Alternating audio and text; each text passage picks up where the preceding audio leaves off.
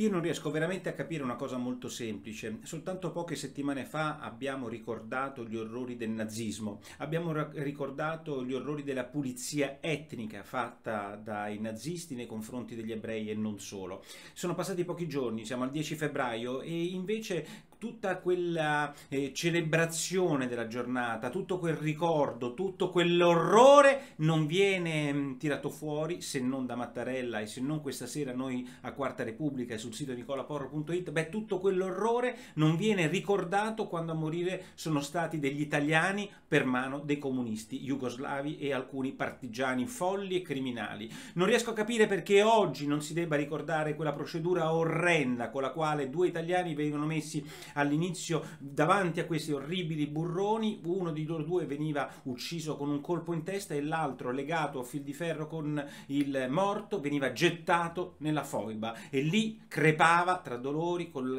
il suo vicino di banco, il suo vicino di parrocchia, il suo vicino di questura o di prefettura eh, che stava agonizzando. Perché non lo ricordiamo? Perché abbiamo questo, eh, diciamo, questo pudore nei confronti di quella che è stato un orrore che noi stessi abbiamo commesso. Beh, insomma, io un motivo me lo sono eh, cercato e l'ho trovato e sapete qual è ed è molto semplice. Il nazismo l'abbiamo sconfitto, il virus del nazismo, tranne che in rarissimi eh, piccoli casi, è ancora forse diffuso ma in maniera eh, diciamo mh, mm, inesistente. Invece il virus del comunismo è qui e lotta insieme a noi purtroppo. E quella cattiva coscienza dei comunisti che volevano negare agli esuli italiani ogni dignità di suolo e che hanno negato per anni le foibe, quella cattiva coscienza di chi in questo paese se ne è approfittato per la resistenza, per regolare conti che non avevano nulla a che vedere con la guerra, beh quella cattiva coscienza è ancora qua, è ancora presente. E quella cattiva coscienza per cui oggi non si celebra